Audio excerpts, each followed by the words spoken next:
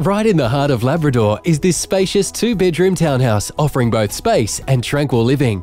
With renovated touches throughout spreading from the kitchen to the bathrooms, most of the hard work is already done for the new owners.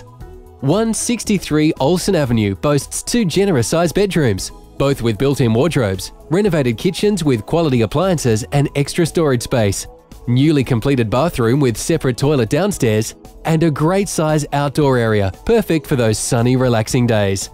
In an ideal position just down the road from the new Gold Coast Hospital, which is to be completed in 2012, and within walking distance to Harbour Town Shopping Centre, public transport and surrounding shops.